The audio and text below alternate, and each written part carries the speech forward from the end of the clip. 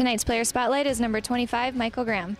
Michael, what's your favorite series you've watched on Netflix? Prison Break. What's your favorite movie? Miracle. What's your favorite pregame meal? Uh, Subway.